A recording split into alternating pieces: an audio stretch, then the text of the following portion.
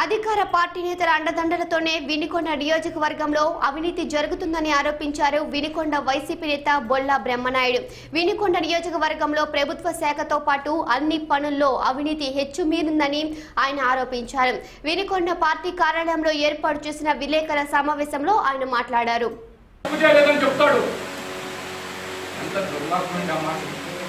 ఇక్కడ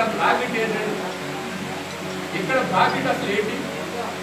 చిన్నవాడు మున్సిపాలిటీలో పనిచేసి అతి పేదవాడు రిక్షా కార్మికుడు రోజువారి కూలి పనిచేస్తుంటే చిన్న సన్న వాళ్ళకి ఏమీ తెలియనటువంటి వాళ్ళు.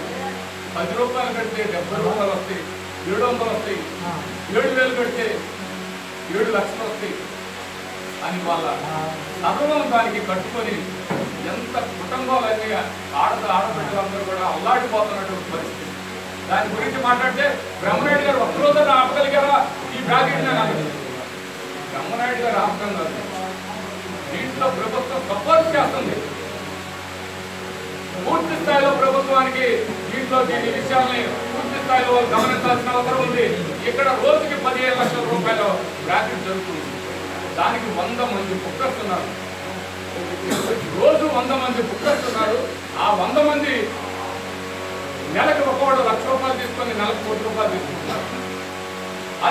విధంగా ఇక్కడ ప్రతి ఒక్క డిపార్ట్మెంట్లుగా కూడా వాళ్ళకి పూర్తిగా బ్యాంక్ నుంచి సపోర్ట్ చేస్తున్నారు.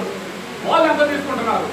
ఇక్కడ ఉన్నటువంటి ప్రభుత్వం ఇక్కడ ఉన్నటువంటి శాసనసభ్యుడికి ఎంత పుట్టుతున్నాయి ఇక్కడ ఉన్నటువంటి ఆ రమణ గారి ఎంత తీసుకుంటున్నారు?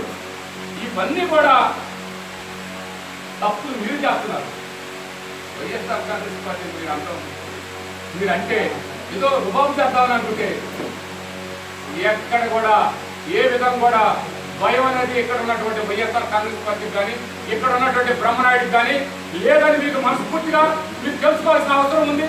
నీతి నిజాయితీగా మీరు పరిపాలన చేయకపోగా మేము ప్రతిరోజు చెప్పేది మీరు బ్రహ్మాండమైనటువంటి అవినీతి రహిత పరిపాలన చేస్తున్నామని ఎమ్మెల్యే గారు చెప్తుంటే ఎంత ఏ విధంగా ఉందంటే ఆయన మాట ఎత్తుకుంటే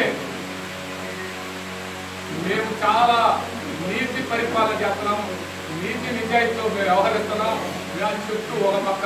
రెండో పక్క బొల్లాపల్లి మండలంలో వాళ్ళ సొంత వాళ్ళ బామ్మర్తి గారు కొన్ని వేల ఎకరాలు అక్కడ అక్రమంగా అక్కడ ఎమ్మెల్యే వాళ్ళందరూ కలిసి ఎస్ఐండ్ ల్యాండ్ దోచుకున్న సంగతి అది మీకు తెలియదా అని అడుగుతున్నాం.